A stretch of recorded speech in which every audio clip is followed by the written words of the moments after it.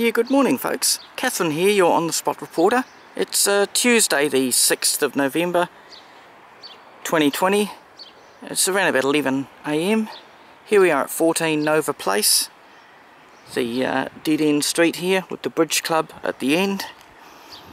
And uh, in between this uh, block of units here to the right and a single dwelling to the left there there's this empty section which one assumes had a house here. It's got a street and it's got a letterbox still. Uh, assuming the house was damaged during the earthquakes of 2010 and 2011 and subsequently demolished and nothing else has been put in its place. We're going to listen to the glorious sound of an alarm ringing its head off as I furiously struggle with my left hand to turn it off. And uh, we're walking along, there's some olive trees here and there's five of them.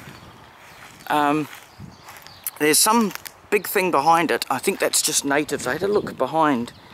Um, it would seem that somebody comes here at least occasionally and as you see, the, I won't say the grass has been recently mowed, but it's, you know, they've obviously kept woody weeds down and things like that. So I guess they come in here a couple of times a year and mow it. And, but uh, yeah, so we've got five olive trees here, a good size and then there's a gap in between where you can walk through a bit further behind.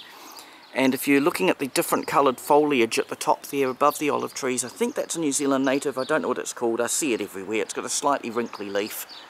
And I just don't know what it is but it's a evergreen. And there are several of those trees in the back.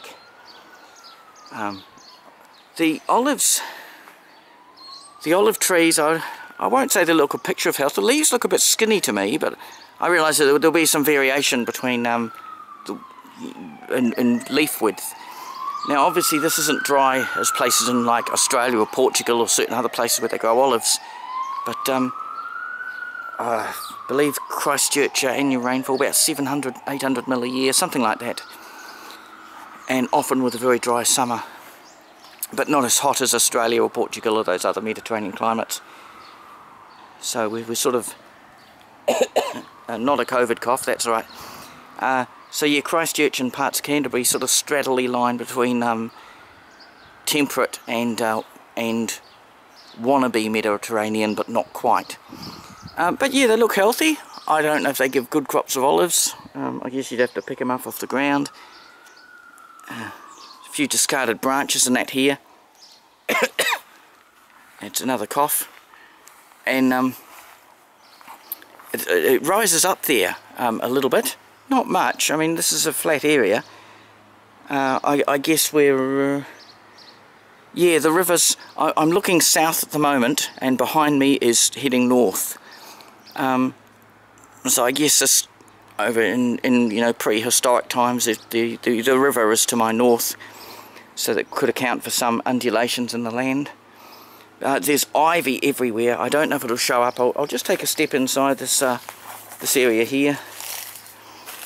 And you can see that ivy has formed a very dense ground cover, a big tangled mess of ground cover, which I guess is not totally a bad thing. Uh, but this back area is uh, about two feet or about half a metre higher. Um, a couple of cat New Zealand cabbage trees, uh, Livis cordyline australis um, in there. But uh, we'll just back out carefully. Um, yeah, so here we go, five olive trees. They seem to be healthy. So there's probably a few olives here if someone picked them at the right time or whatever. Um, obviously olives are evergreen. But uh, yeah, there we go. Number 14 Nova Place here in, um, I guess it's still the central city, yeah, we're still inside the four avenues, so it's the central city. Uh, not quite the Avon Loop or Richmond. But uh, yes, this piece of land, which uh, I'm not sure the valuation on this piece of land is probably uh, close to half a million dollars, but uh, it doesn't mean much to somebody. They don't uh, they don't want to sell it, rent it out, let housing be built on it or whatever. They're happy for it just to sit here. So that's the situation. And we've got, well, I was going to say some modern built flats, I guess about 20 years ago, that, that kind of style uh, on that side.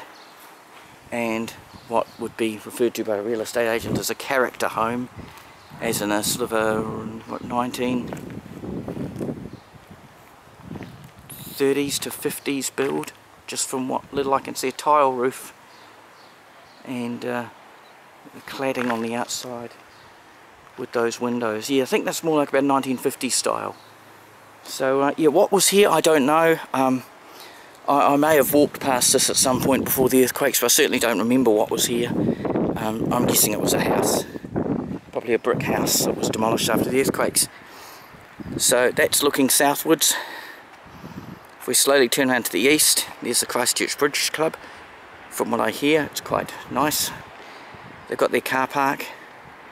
And somewhere around here is a development happening. Looking out towards, uh, that's Barbadoes Street, the one-way system there.